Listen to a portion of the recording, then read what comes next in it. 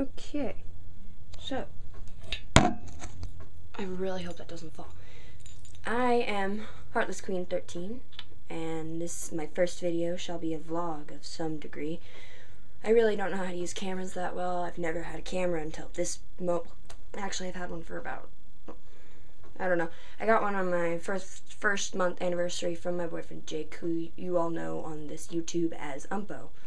So I decided my first video should be a vlog that is probably poorly done, and I don't even know if I'm in the camera right now because my recording equipment is a small camera and a music stand. So I don't know how well that's gonna work out, but so anything I plan on doing on YouTube, which probably won't be anything for a while, because I'm a procrastinator for one thing, I am lazy for another, and I just really forgetful. So also I also get sidetracked really easily.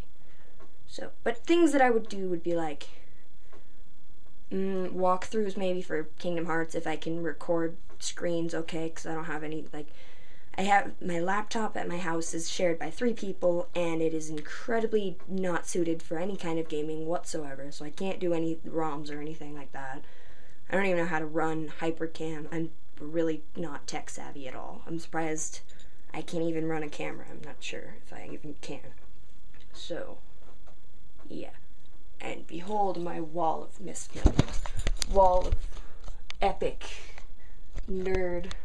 Because I'm a nerd all sorts of manners and stuff. Wait, wait a second.